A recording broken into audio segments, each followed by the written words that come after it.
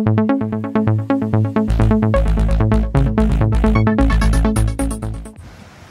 I'm Daniel King and I am in Sobral, Brazil, in the northeast part of Brazil.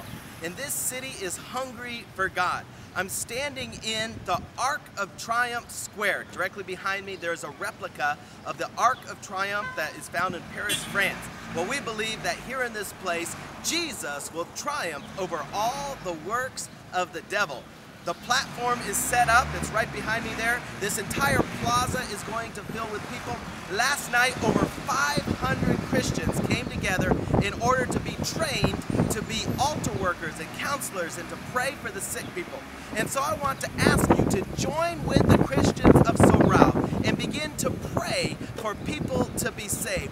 We are believing God to fill up this entire plaza, thousands of people coming that need Jesus. We're praying for thousands of salvations. Please join your prayers with ours as we expect God to see great revival and miracles here in the city of Sobral. Thank you so much for your support and for sending us here to lead people to Jesus. God bless you.